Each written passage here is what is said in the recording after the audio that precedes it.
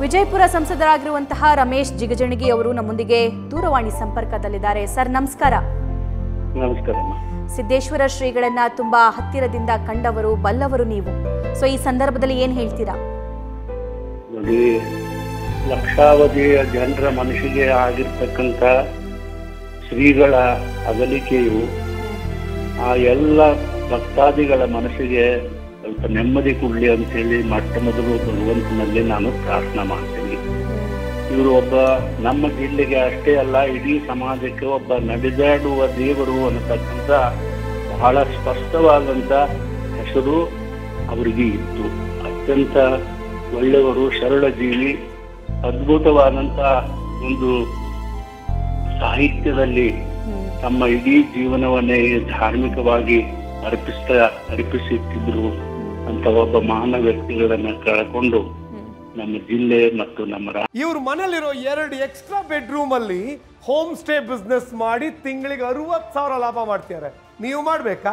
Freedom app ಅನ್ನ ಈಗಲೇ download ಮಾಡಿ. ರಾಜ್ಯ ನಾವೆಲ್ಲರೂ ಕೂಡ ಬಡವರಾಗಿದ್ದೇವೆ ಅಂತೇಳಿ ನಾನು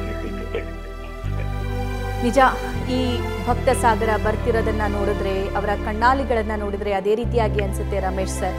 ಇನ್ನು ನೀವು ಶ್ರೀಗಳನ್ನ ತುಂಬಾ ಸಲ ಭೇಟಿ ಮಾಡಿದ್ದೀರಾ? ನಿಮ್ಗೆ ಮರೆಯೋಕ್ ಸಾಧ್ಯ ಆಗದೆ ಇರುವಂತಹ ಆ ಗಳಿಗೆ ಯಾವುದು? ಅದನ್ನ ನೆನಪಿಸ್ಕೊಳ್ಳೋದಾದ್ರೆ. ಸತ್ಯವಾಗಿ ಸತ್ಯವಾಗಿ ನಾನು ಯಾವತ್ತೂ ಕೂಡ ಮರಿಲಕ್ಕಾಗಲಿಲ್ಲ. ನಾನು ನನ್ನ ಮಕ್ಕಳು. ನಾನು ಹತ್ತೊಂಬತ್ತು ನಾನು ಎಂಬತ್ತೆಂಟರಾಗ ಸೋತ ಮೇಲೆ ನಾನು ತೋಟ ಮಾಡಿದ್ದೆ ಇಲ್ಲೇ ಬಿಜಾಪುರ ಹತ್ರ.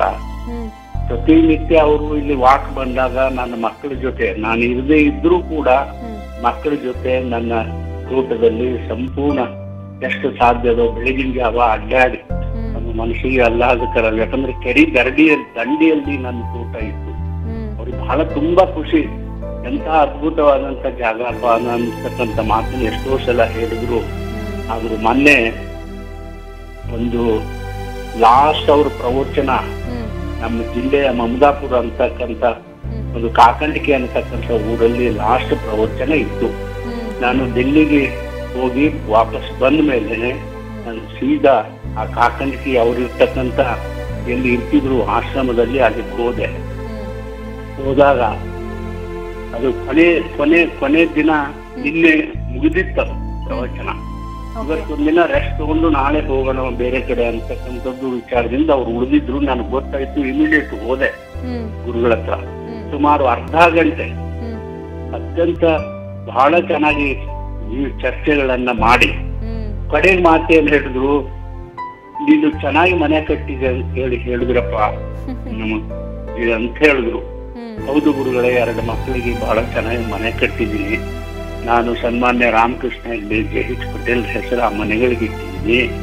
ಅಂತ ಹೇಳಿ ಹೇಳಿದಾಗ ನಾನು ಬರ್ಬೇಕಪ್ಪ ನೀನ್ ಮನೆಗ್ ಬರ್ತೀನಿ ಅಂತಕ್ಕಂಥ ಕೊನೆ ಮಾತು ಹೇಳಿದ್ರು ಆದ್ರು. ಬರ್ತಾರೆ. ನಮಸ್ಕಾರ. ನಿಜ ಸರ್ ನಿಮ್ಮ ನೋವು ನಮ್ಗೆ ಅರ್ಥ ಆಗುತ್ತೆ. ಶ್ರೀಗಳು ಮನೆಗೆ ಬರ್ತೀನಿ ಅಂತ ಹೇಳಿದ್ದೆ. ನನ್ನ ಪುಣ್ಯ ಅನ್ನೋ ರೀತಿ ನೀವು ಮಾತಾಡ್ತಾ ಇದ್ದೀರಾ. ಶ್ರೀಗಳು ನಿಮ್ಮ ಮನೆಗೆ ಬರಬೇಕಾಗಿತ್ತು. ಇನ್ನೂ ಶ್ರೀಗಳ ಪ್ರವಚನ ನುಡಿ ಮಾತು ನಾವೆಲ್ಲರೂ ಕೂಡ ಕೇಳಬೇಕಾಗಿತ್ತು. ಆದರೂ ಇಷ್ಟು ಬೇಗ ಅವರ ಇಚ್ಛೆಯಂತೆ ದೇವರ ಇಚ್ಛೆಯಂತೆ. ಥ್ಯಾಂಕ್ ಯು ಸರ್ ಇಷ್ಟೊತ್ತು ನ್ಯೂಸ್ ಫಸ್ಟ್ ಜೊತೆ ಮಾತನಾಡಿದ್ದಕ್ಕೆ. ನ್ಯೂಸ್ ಫಸ್ಟ್ ಪ್ರತಿಕ್ಷಣ ನಿಮ್ಮೊಂದಿಗೆ.